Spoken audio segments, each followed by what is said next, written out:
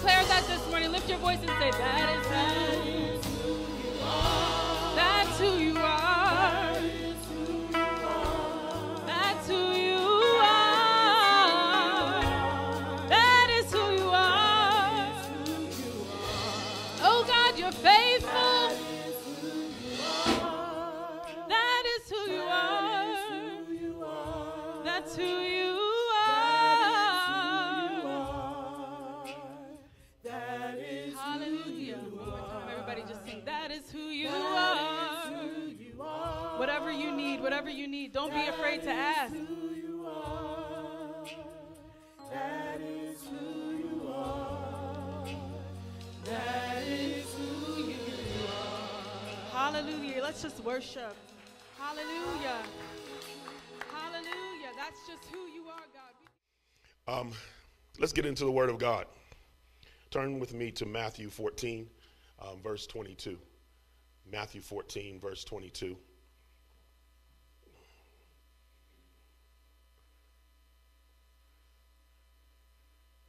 Matthew 14, verse 22.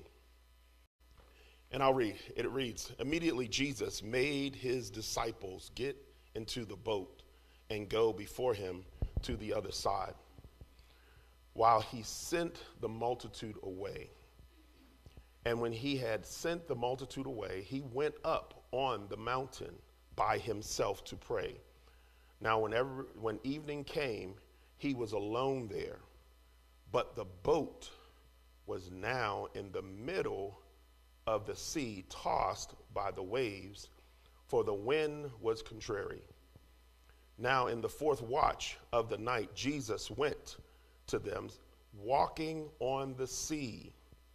And when the disciples saw him walking on the sea, they were troubled or terrified, saying, It's a ghost.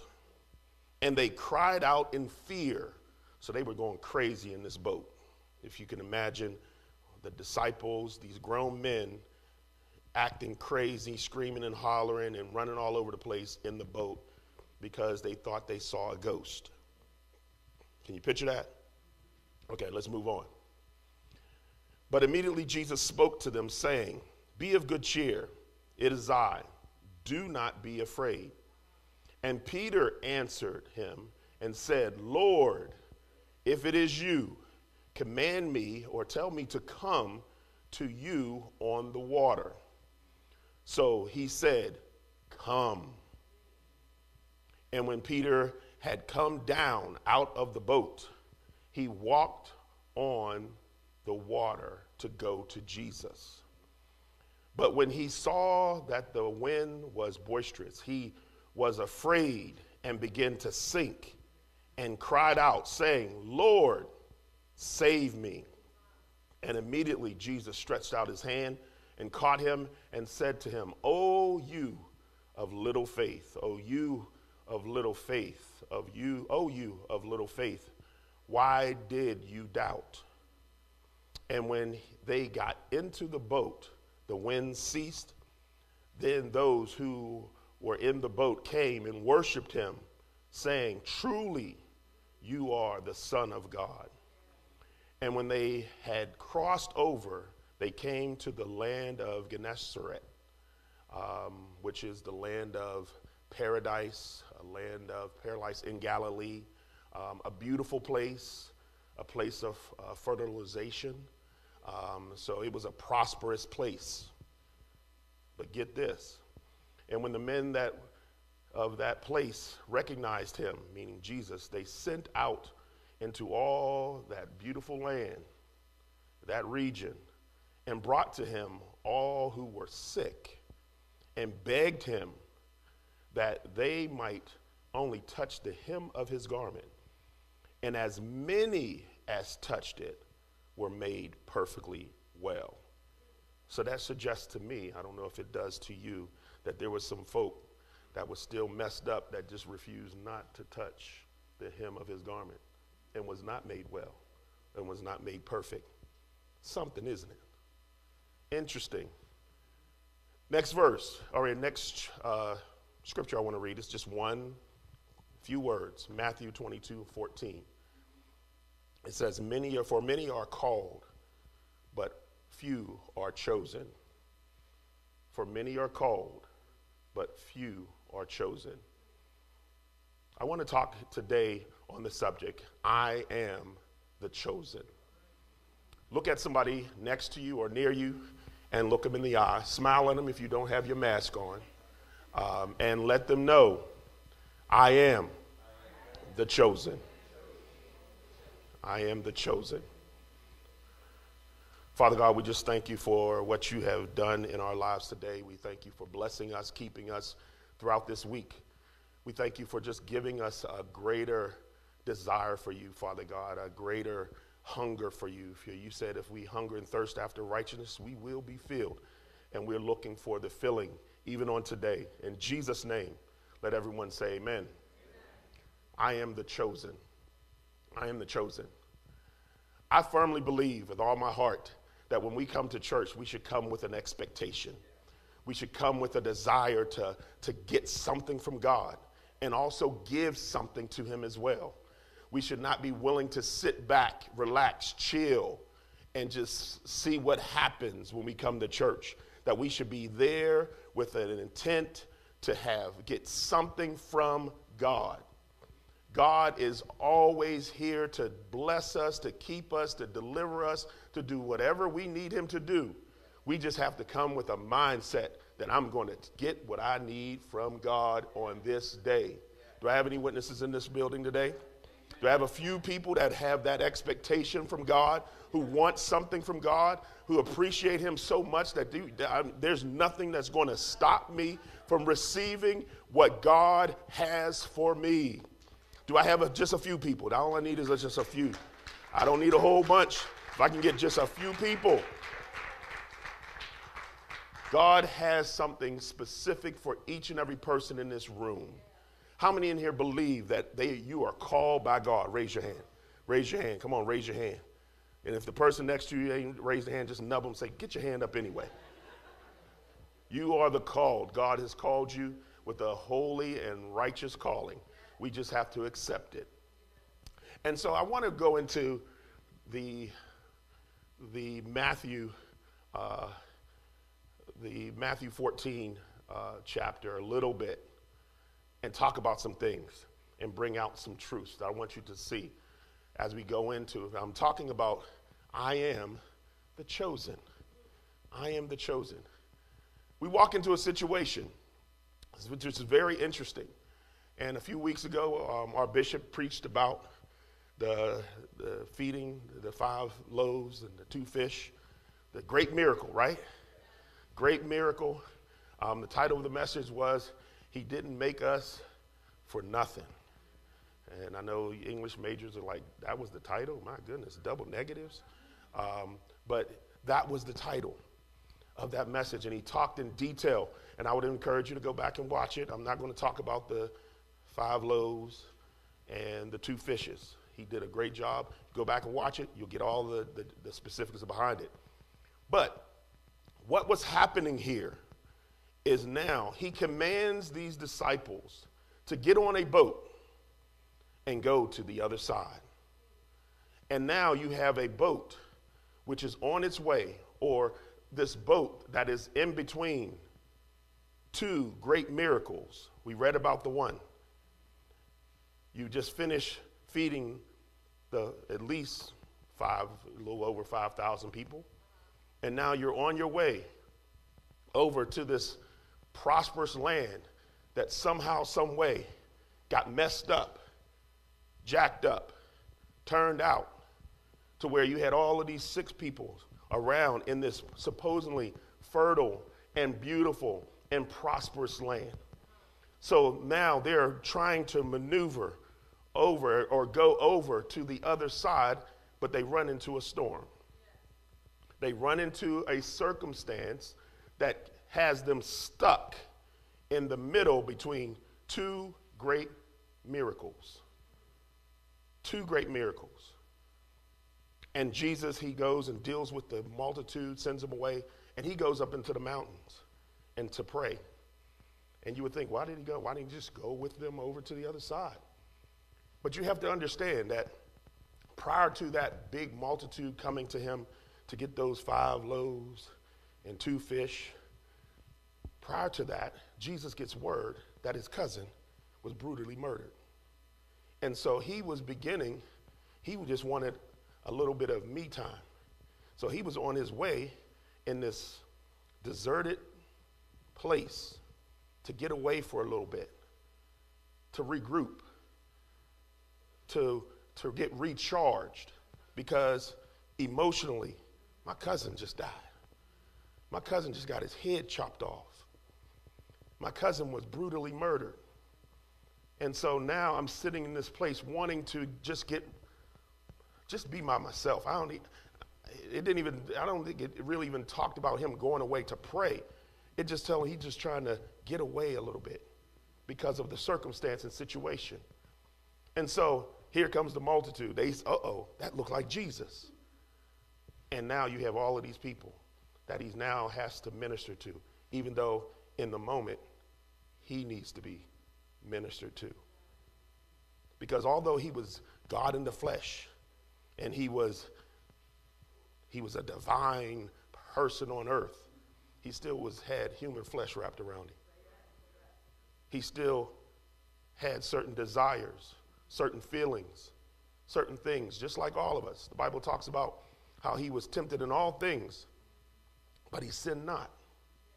So he was he, he had some temptations come his way, but he made a decision. Look at somebody say, You got to make the right decision sometimes. Just sometimes. Just not you may not do it all the time, but just sometimes, you know, just sometimes. Just make the right decision. So, fast forward, we, we're here. They're in the middle of the sea. They're going through all of this, that, you know, and like Bishop talked about before um, in one of his messages, you, you, these disciples weren't just like priests just walking around with Bibles or anything. These people were skilled fishermen. They had, you know, they knew how to maneuver a boat and do things and what you needed to do because they were fishermen. They were sailors. They knew what to do. But they were stuck and didn't know what to do. And so now Jesus comes out to them walking on the water. And they're going, they're freaking out because they think it's a ghost. And they're going crazy, yelling and screaming. I mean, if you can imagine, just it's, it's, it's a little bit dark. They're out in the middle of the sea. They see this light coming at them. And I remember one time I was on a, a cruise ship. And I don't know if any of you ever been on a cruise ship um, near, down near Florida. And, you know, it was, it was a casino boat. I'm, I'm, it was a, it, don't, uh, uh, uh, okay. y'all, y'all silly. Um, it was a casino boat, and so we had to go outside of U.S. waters. If you wanted, I mean, I was on the deck. I wasn't down there. Give it to me. No, I wasn't doing that. I was on the deck, you know, with some of the other people that were on the boat, and we were talking. And then all of a sudden, we seen this light coming over the water. And we're out in the middle. There's no land because we're outside of U.S. waters. There was no land around us. And all I saw was this little light coming over the. And I'm like, is that another boat? They're going to blow us out. The, I mean, all types of thoughts were going to my mind. And then one of the, I guess, staff came. It was like, oh, that's just the moon coming over the water. But it, it nearly freaked us out because we didn't know what was happening. And so I can imagine that when they saw this light walking over the water, that it, it, it was a little bit, but they were freaking out, as according to what the Bible. They were terrified, they were afraid, they were screaming and hollering. And Jesus comforts them, saying, It's me. Don't, don't get nervous. It's me. And so, as, as the, the story goes on, we come to Peter. And Peter, you know, he says, Bid me to come, Lord. And he just says, Come. And Peter steps out of the boat, walks on the water. And we always, a lot of preachers, we always beat up on Peter because you had the opportunity of a lifetime to walk on the water, to go to Jesus, but because you had some doubt, you was looking at the waves and all the wind and everything going on, you all of a sudden sank in the water. But I like to, you know, I'm optimistic. I like to look at things, what they say, the glass half full with this situation. And I'd rather look at, the, I look at this situation like this. Um, at least he had a little bit of faith. He had a little bit of faith. He didn't have a whole lot of faith, but he had a little bit of faith. And guess what? Just with having a little bit of faith, you can do some impossible things with just a little bit of faith. Yeah, he didn't make it to his destination when he got on, on that water and started to walk. He, he, he didn't make it, but yet he was able to do something that he could not do before, which is walk on water because he had a little bit of faith. Because of that little bit of faith, yeah, he was sinking, sinking, had the crowd, but at least he didn't drown in a circumstance and situation because he had a little bit of faith. And some of you in this room, if you just have a little bit of faith, God will be able to do some things, do some miracles in your life. Think you won't drown in your circumstance and situation. You won't get knocked up and knocked out if I just have a little bit of faith. That's all I need is just a little bit of faith. And the Bible says, without faith, it's impossible to please God. So if I have just a little bit of faith, I'm making him at least smile with just a little bit of faith. And the last time I read, in Matthew 17 and 20, it says, if you have faith as the size of a mustard seed, you will be able to say to a mountain, Be thou removed, and then cast it into just a little bit of faith. Now, now one thing, and I'm, I'm, it looks like he's looking up something about probably the mustard seed. He always do that. Um, but the thing with the mustard seed, if you look at mustard, and um, I think Bishop pointed this out the one time, it's those little little specks in that mustard you be looking at. That's a mustard seed. If you plant a mustard seed, in the ground, it, turn, it doesn't turn into a bush. That little bit is, doesn't, isn't just a little bush or shrub.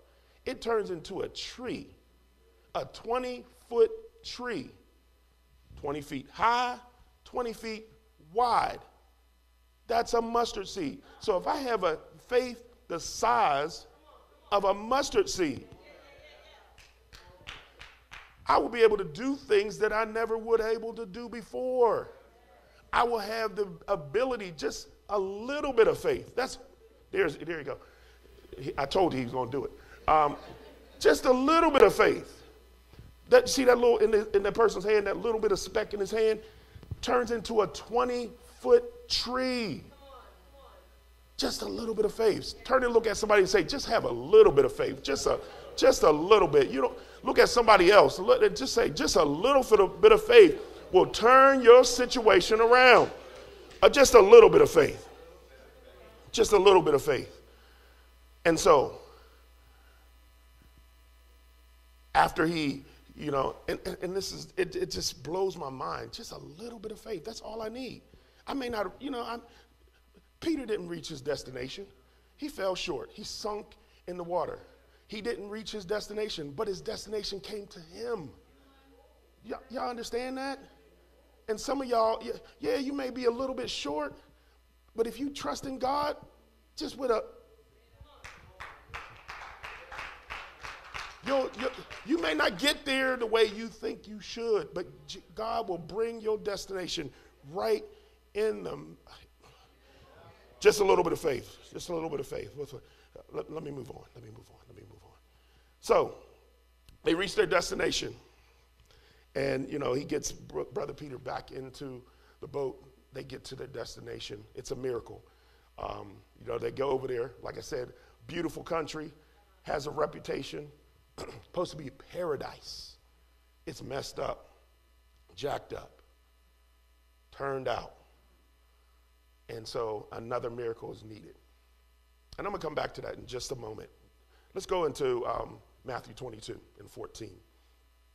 Matthew 22 and 14. We read, For many are called, and few are chosen.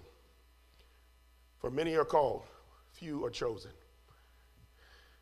And I, I have to admit, when I first came across this scripture, I was a freshman here in college at IUP. I struggled with that, that scripture. I really did. Because, you know, like some of us do, we read one verse of a scripture and we just run with it. Um, and one of the things that we learn from, from PJ um, and Sister Lael is, you know, don't just read one verse. Read what's going on before, and sometimes read what's going on afterwards. You'll, you'll find out a whole lot more to why that one little verse that you just hold on to was mentioned in the Bible. And so I struggle with it before for the simple reason because my mind, in my mind, you know, like I, I asked all of you earlier, how many in here is called? Everybody raised their hand. I'm called. I'm called. I, I know I'm called. He called me when I was in my mother's womb. I was called by God. Glory to God.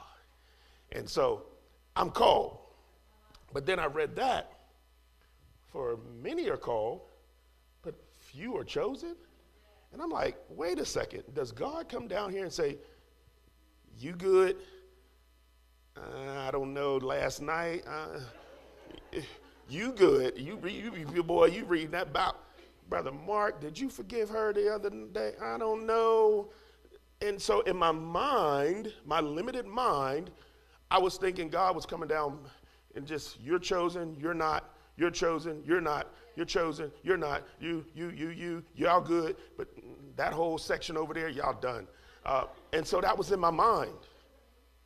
But what God began to, when I began to read bef- before the, the verse and even somewhat afterwards, I began to learn that the reason that that scripture is used is because the individual, there's at least one individual, actually, there was a whole bunch of individuals.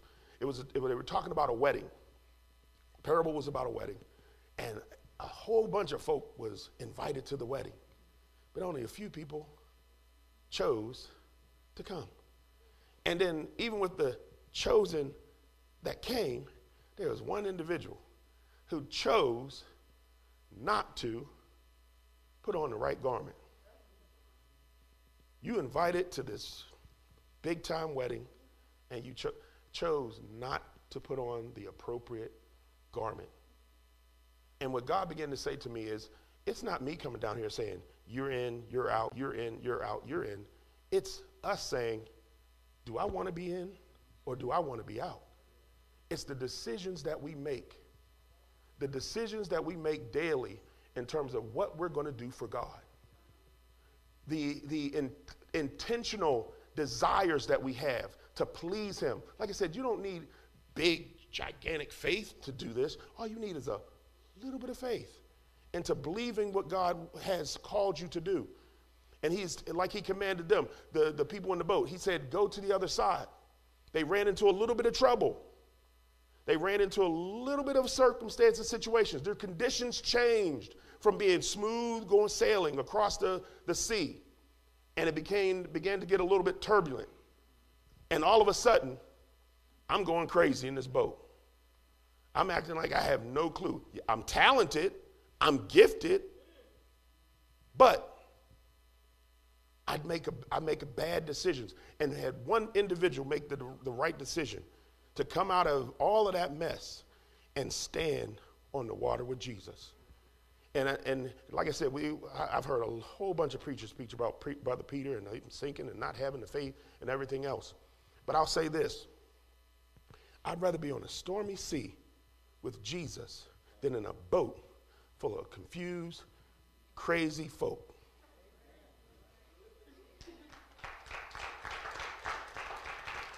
I'd rather be sinking, my circumstances up to my neck, holding the hand of Jesus than sitting in a boat trying to figure out where we're going to go next. Not being able to navigate or figure out is this the right way or is that the right way? Because I can't see. I'd rather be with Jesus in the stormy seas of life than to be sitting on a boat and in a circumstance where people don't know what they're doing. That's me. And God says we have to begin to make the right choice because one of the things that will happen when we begin to make good choices, when we begin to do that, we'll, we'll, we build confidence in who we are. We build, we build confidence in whose we are. We have the authority and power. God gives us authority and power to be able to do things that we thought we could not do. You know, um, thank you, Holy Ghost. The Lord blessed me with the opportunity to train individuals, little kids, in terms of playing sports, mainly basketball. So when I'm, you know, when I'm training them to play basketball, one of the things I tell them, when you got the ball in your hand, you are a shooter. And you basketball folks, help me out with this. When you got the ball and you are a shooter, what do shooters want to do? Dang, you ain't even a basketball player. He knew that one. Shooters want to shoot. And so I teach them when you have that ball in your hand, you are a shooter. And shooters want to do what? Be who you are. Don't be anything less than who you are. Have the confidence and the authority and the power in who you are when you step out on that court. Likewise, as believers, we need to have confidence in the power and authority of who we are. God has called us, and He is wanting to choose, make a choice in bringing us in to the fold and to do and accomplish the things that He has for us. We just have to have the confidence to make good decisions. How many is here are willing to make a good decision? I am the chosen. And if I'm the chosen, I need to make certain decisions based on who I know I am and nothing less. Right? Basketball players, if I'm a shooter, I'm going to shoot. And there's nothing that's going to stop me. We wa- I watched a, a, women's basketball game yesterday, a high school women's basketball game. And it was, you know, I was just flip, flipping around on while I was cooking. And I'm watching North Allegheny, which is a big powerhouse women's basketball in Pittsburgh, playing Upper St. Clair, which is pretty good. Game is Upper St. Clair, you were supposed to be lose by 20 points. But they had this freshman that when she got that ball in her hand, she knew who she was. North Allegheny didn't know who she was, but she knew who she was. And when she got that ball, they down by two points or down by three points. She got that ball. That ball went up in the air with no hesitation. Bang, game tied. This is within 30 seconds. She scored five points. She got that ball off, boom. Now they playing good defense. Gets the, gets the ball, boom, boom, boom, dribbles down. Of course, now they know who she is. North Allegheny adjusts. They come at her. She has to give that ball up. But she doesn't stop because she knows who she is. She kept moving. She kept coming. She wanted that ball. She came back to that ball, got that ball, and the rest was history. They couldn't stop her. She went boom, going hard to that hoop, ball off the glass, game over. Go home, North Allegheny. I might see you in the state playoffs, but I'm going to play for a WPIAL championship. She had confidence in who she is as a basketball player. All of you, every person in here, you raise your hand. I am called. But who wants to be chosen? Who wants to go to that next level? I am the chosen. I am the chosen. And get the, and here's another thing that go, um, I will, I'll, I'll, I'll save that for later. I am the chosen. God has a plan for each and every one of us. He wants to transform our life. He wants to turn our life totally around. And we have to just make the right decision. We have to be like Peter. I'm willing to step out in the impossible. Even though the conditions may not be, hey, the conditions ain't working for the boat. How is it going to work for me stepping out side of the boat? But he made the right decision. He made a decision that changed his life forever. Who's willing to make be one of the chosen? Who's willing to say, I am that chosen? I'm willing to make that decision.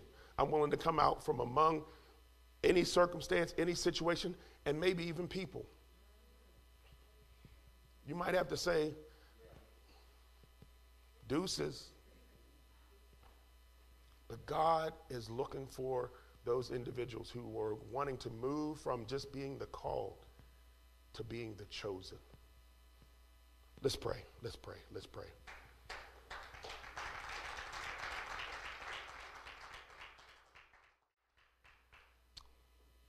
Father God, I just thank you for the word of God. I thank you for just blessing each and every person in this room.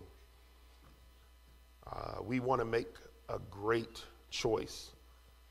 We're not just looking to be good, we want to be great in everything that we do, even the choices that we make for you. We want to step out from among all of this chaos, all of the circumstances we're dealing with daily, and we want to be a part of what you are doing in this next move of God we seem stuck in between where we, where we are coming from to where you are taking us. And we want to make the right decision to move into that next, that next phase, that next. We're, we're in between two great miracles that are about to happen. I just, I just sense the Lord is about to do something mighty through each individual in here, as well as Victory Christian Assembly. We just have to make the right choices to come out, to step out, to move out. In the name of Jesus, we pray. Amen. Hallelujah. Hallelujah.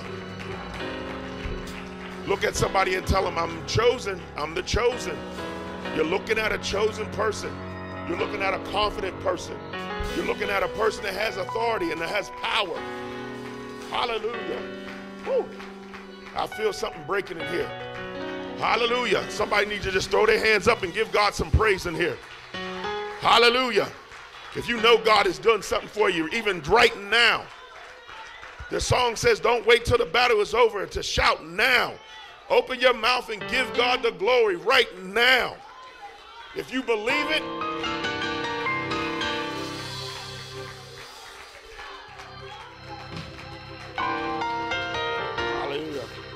I want to say high five somebody real quick, but I know we we in the COVID. But hallelujah, that's the God is good. God is good. Some of y'all, some of y'all just got to get some hand sanitizer. Something. We got some hand sanitizer. I gotta high five somebody. I gotta do something to give God some glory. I'm the chosen. I am the chosen. There's no mistaking who I am. God has changed my life forever, and I'm gonna. I'm. Woo. We have to move on. We have to move on. the COGIC in me was coming out. The COGIC in me was coming out. Ah, God, help me. Thank you, Jesus.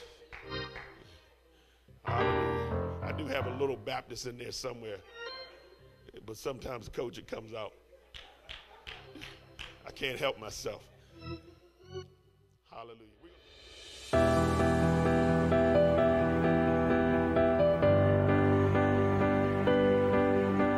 If you'd like to give electronically to Victory, you can do so in a number of ways.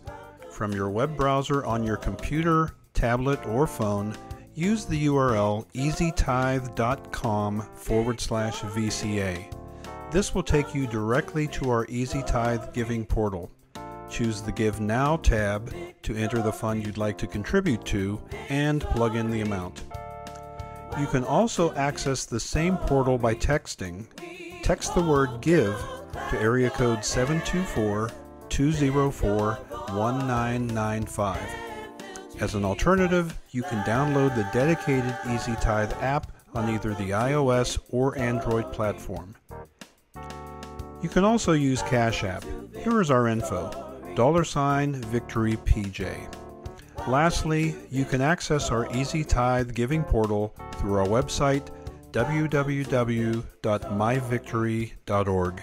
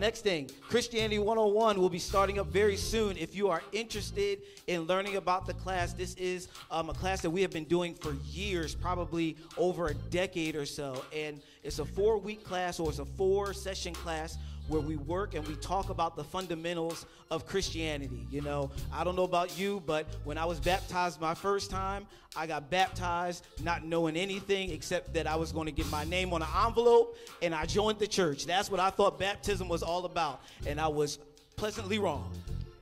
Baptism is all about something completely different. It's about connecting, giving ourselves to Christ. And so Christianity 101, this is a class that we'll be we'll be doing via Zoom, all right? So Eliana is in the back. She has a clipboard. If you are interested, um, please write your name down, write down your email, and we will be starting it up in the next few weeks because we will be baptizing people who want to be baptized on Good Friday here this year, Good Friday in April. So make sure that you sign up for that, all right?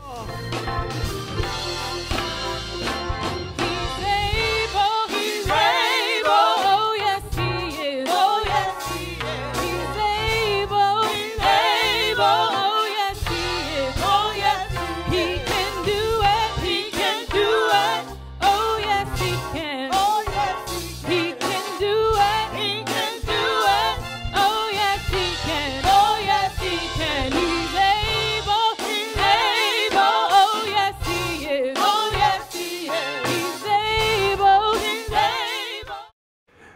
back in our sanctuary at 418 Church Street in Indiana again, as well as continuing to offer virtual victory online.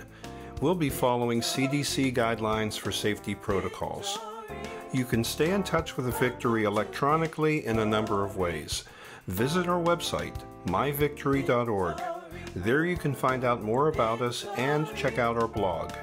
Also, follow us on social media such as Facebook, Twitter, YouTube, and Instagram. Download our app for your mobile device on either the Android or iOS platforms. There you can view the latest sermons, check out music and ministries, post a prayer request, or visit our chat room. We hope you've had an excellent worship experience today. Have a great week, and in all you do, we pray that you walk in the victory God has designated for you. Be blessed, and we'll see you next week, online or in person.